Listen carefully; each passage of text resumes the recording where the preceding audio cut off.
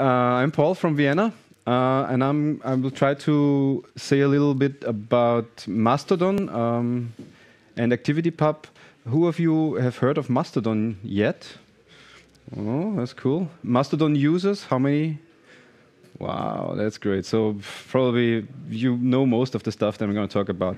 So, um, like I said, I'm from Vienna. We have still a very healthy mesh in Vienna, 200 nodes running OLSR version 1. Not much innovation happening there, but it's stable and it, it works and contribution happens, but it's a very small number of people that are involved in this. And I was really into that stuff, and it really, really bugged me over the years that even when we when we put up mesh networks, so like open communication systems, people end up using Facebook over it, and that, that really that really that really is, I don't I don't I didn't know what to do about it, and then a friend came up to me and say, "Hey, Paul, um, have you looked at decentralized identities yet?" And I said, what, "What's that?" What? And I will tell you now a little bit where the connection is here. So I'm I'm thinking about ways to to escape the how I call it the platform zombie apocalypse of Facebook and the other social silos uh, this, this, the current state is sad, so they have uh, still a rising number of users. This is Facebook, uh, way over 2.2 billion monthly active users. So that's uh, there is not much uh, in the so their reputation is going down. That's a good thing. Um, and these two things together led to some people getting really serious about, serious about developing an alternative. And right now, I think the main term for this alternative is called the Fediverse. This is too small to read for you, I guess. But this is the number of projects, the number of services that are part of the current Fediverse. The leading one is Mastodon with more than 2 million users right now. Then there are uh, other in interesting uh, services are PeerTube, which is supposed to be something that behaves like YouTube.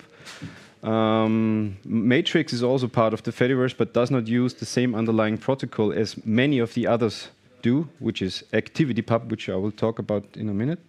So this this list is really impressive. Uh, there's a lot of lot of stuff happening that wasn't there five years ago. So this is really, I've, i would say, inspiring in some sense.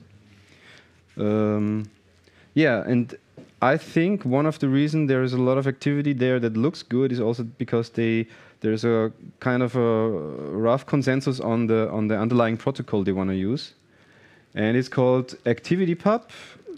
Is now yeah the leading protocol in the Fediverse. And I think it's because mostly because of Mastodon. Mastodon picked it up very soon. The ActivityPub uh, guys specifically listened to Mastodon but not too much. So the activity person said they, they made a little bit of a concession towards that particular need, but it's not really breaking the the general applicability of this thing, and it's extensible. So Mastodon itself is now driving this rocket, uh, and I think it's pretty amazing. Uh, the UI is in a, in a shape of, I mean, for, for this kind of unfunded or very little funds going into this project, it's it's amazing. I mean, the clients are there. There are several server implementations there. The community looks healthy uh, right now. There's a little bit of user growth, which is not visible on this graph, but it's it's it's it's it's it's it's really going up. Yeah, trust me so the, the, the, the I, I, hear people counting the real monthly active users, and I, I heard something about 500,000. So this is a start. We are far away from 2 billion. And the question is, can we ever reach this? I mean, can we ever be competitive in that respect? Uh, yeah, this is going to be a challenging thing. But Mastodon itself says ActivityPub is their choice, will stay their choice. The other projects kind of agree because they see it works. Um, um, it's supported by W3C. There's a really good consensus on it, not too many arguments. And, and the, the technology it uses, like JSON LD, which I'll show, is, is that there are some components to it that make it look like it's, it's, it's, it's it may be relevant in the few years still to come. So it's not, it's not just a, yet another protocol. Um, what is it? It's it's in short a decentralized and extensible social networking protocol, which which is based on actors. They have inboxes and outboxes, and then the question is how to eff effectively communicate uh, like to avoid certain uh, scalability issues there, to avoid uh, yeah, there are some some hidden aspects when you want to run this type of this type of concept. When you use this type of concept to run something that is similar to Twitter, there are certain things you have to pay attention to. But currently, this network seems to be healthy, seems to be very much in, in like can scale up way more than it is now. Uh, as I said, it's it's based around actors which have inboxes and outboxes. It's it's very simple to read. If you look at the activity pub standard itself, it's a, it's really simple to understand. It's all all based on on uh, well well tested technologies, so HTTP GET and stuff like that, and JSON LD. JSON LD has this nice property that you can add your own extensions within within the context that you're providing. So if, for example, for Mastodon, it, they had this thing called content warning. Yeah, they came up with this new feature that you can, as a, when you write something and post it, you can put a content warning on it, and that means that the, the receiver may not display it at first, but only if you click on it and stuff like that. This was a feature which is not inherently supported by ActivityPub, but given JSON LD, it was easy to make it happen without violating any uh, ActivityPub uh, uh, standards. The, one of the main guys behind ActivityPub is Christopher Lemmer Webber. He's uh, very well known in the FOSDEM community. I don't know. Uh, I want to recommend his podcast he's doing with a friend. It's really interesting. They are talking about all kinds of uh, open source, and I, I, find it very, very uh, worthwhile to listen to. One problem that we see already in, in the Mastodon universe is that most, like 90% of the users, are on 5 4 servers. So this is not scalable. There is a scalability issue coming up here, and it's already appearing. So the first one, which is for some reason a Chinese one, ah, no, Jap Japanese one, is running a very old version, so it's not it's not there's already some some protocol bifurcation happening there, which is which is an early warning sign, I would say, and it relates somehow to this uh, to this uh, general issue that I don't know how many of you have have read this blog post from the main person behind uh, uh Signal, Moxie Marlinspike. So he, he was claiming the ecosystem needs to be able to move, or the ecosystem is moving somehow, which means he was in that way arguing that signals should not be federated because then it gets stuck in time because of partitioning, bifurcation, and then people not being to able, not it's not a coherent communication system anymore. And uh, so this is one problem we still have to pay attention to. And then there's the other problem of even uh, getting sort of uh, being able to get a little bit closer to mainstream adoption of those systems. And here, this, this network effect uh, is our main problem that we have here. So within Facebook, you, you can reach 2.2 billion people. As a Facebook user, in, in the Mastodon universe, you can reach 500,000 people right now. So there's a very big difference in utility there. And, and this utility gap is something uh, some people have now spent really time and effort in thinking about how, how, to, how to attack, how to yeah, come up with a way how to, to have break this asymmetry there, yeah, because it's, that's what we have to do. And those people are gathering around this movement, I think. It's called the rebooting the web of trust. And it's also, there's, yeah, this one is going to be in Prague in September, the next iteration of this meetup of those guys. So I will be there, and it's, yeah, it's easy to get there. It's, I would pay this one, uh, so go there. Uh, all can I say? Uh, because the current Web of Trust, I don't know if you heard the news since last week or something, or a couple days ago, the current web of so the, the key service, the public key server infrastructure that most of us use, turn out to be at being attacked, and it, it's sort of a systematic problem that cannot be fixed uh, in, a, in, a, in a pragmatic way. So the current web of trust is currently not really running. Uh, if it's not really, so we need to reboot that thing now with some new ideas, and that's what they tried to do. I mean, thought about over the last years, and what they came up with is something also very simple and generic, and they call it the decentralized identifier, of course which is another scheme to store and represent public key information or any public information that you want to publicly present for some entity, organization, person, whatever. So it's a non-human readable identifier, so that sucks. Uh, but it, it, it, this one non-readability has a nice uh, consequence, which means you don't need an identity provider that grants you the right to have this name in the namespace. That's not necessary in this case. You, it's like a public private key scheme. Anyone who has ever written a PGP encrypted mail basically has used this kind of technology.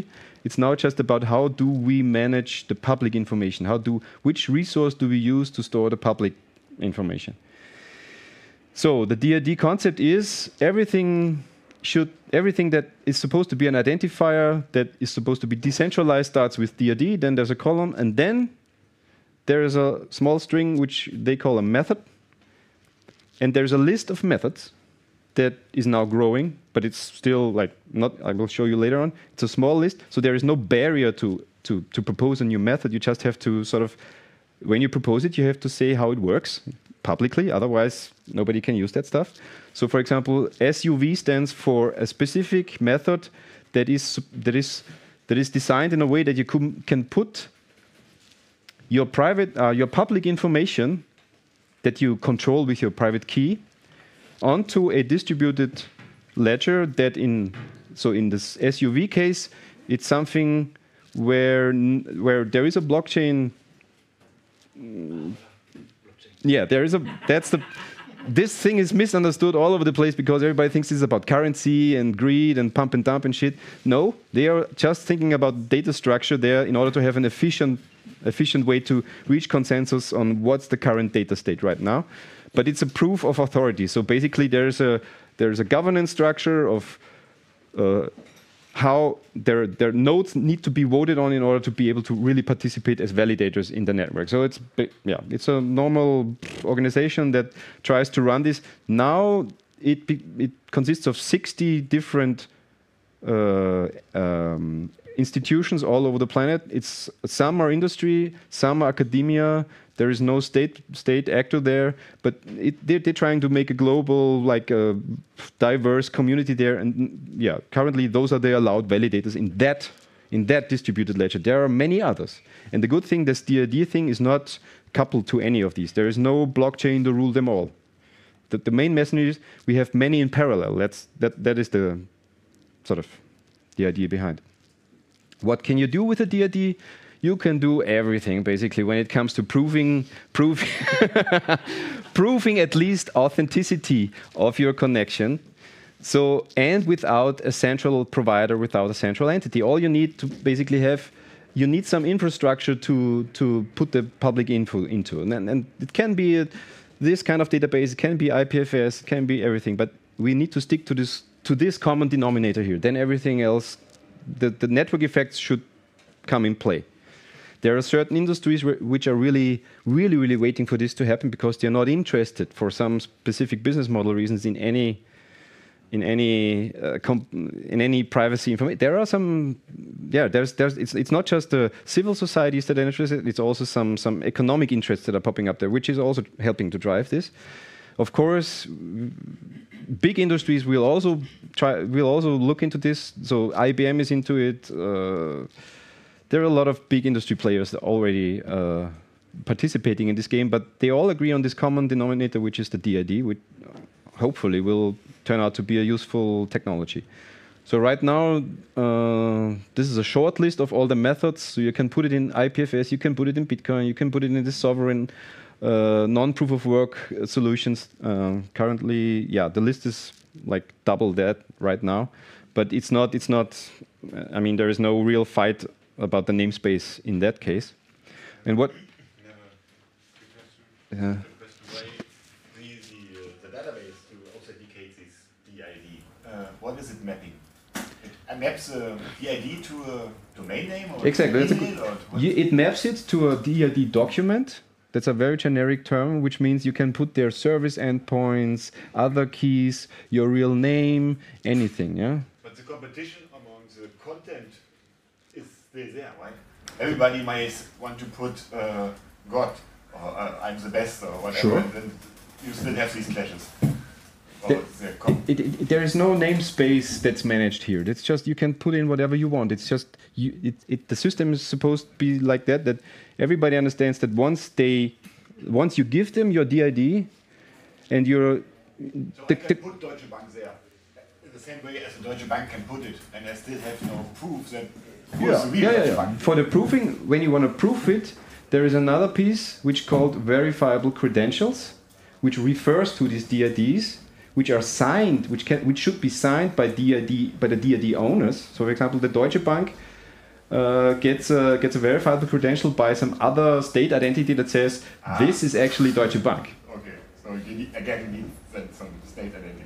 Yeah, you can you can. The, the point is, it's called multi-source identity. You you yourself, when you prove, when you want to prove that you're Deutsche Bank, you have to collect these verifiable credentials from other trustworthy entities, and you present them, and they can be verified because this stuff or this stuff is available to everyone.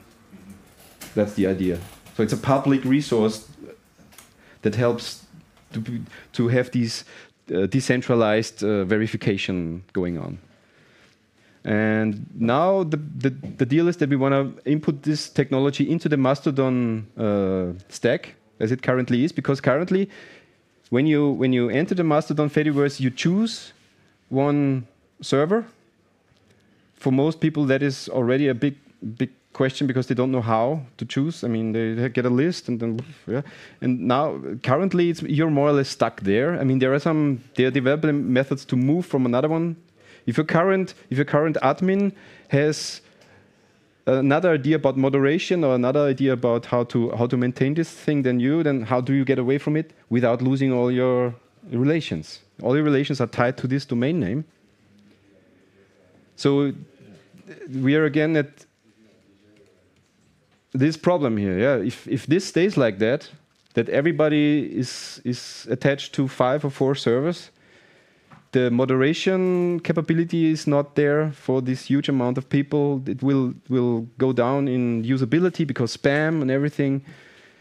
The the the key idea is to to to distribute the moderation load towards a large number of servers which do their own moderation. Then it then it kind of still stays usable even in the face of spam or trolling or real huge political debate right now. The servers is where the in and out boxes are. Exactly, yeah, and that's where the where the moderation where the moderation happens. So uh, we want to put we want to enable Mastodon users to sort of add to their profile in Mastodon some decentralized identifiers. That's all. So once the server goes down, so this this information that I am represented by, by three different decentralized identifiers. This information I can put into my Mastodon server, and once this thing goes down, it's already propagated to all the other servers, and they can find me again. If I have still control over these three, because I will always use these three to point to my current home. So it's a funny way to find another way of DNS uh, without, without the hierarchy of DNS that's it. That's more or less what I wanted to tell. Uh, yeah. I I would would say one thing left is that I believe that having some way of decentralized identification standard is a I don't think there's an alternative to that. In the same way IP came up, there will be something similar in, in that in that space. And it looks like it's going to be DID because it's the, the simplest common thing that they came up with. So, yeah. So please, when you see DID, don't think immediately about it's blockchain bullshit. It, people are trying to put it into that corner. Some people are misunderstanding it. I think it's not really connected to it. Um, but we, we, we, we leverage part of, for example, the whole crypto space has led to an increasement of, to, to a better, to an improvement of the technology, how we manage our private keys. So people are, since they're now trading like, like valuable stuff, using private keys there now, there, there are better wallet technologies there and stuff. And we can use, we can hopefully make use of that thing. So passwords are slowly going away and uh, private keys are replacing them more and more. I think DIDs will will gain relevance, and I hope that ActivityPub is still around in 10 years, and we will love it. Yeah. Uh, so please spread the word that ActivityPub is a cool thing. Thanks.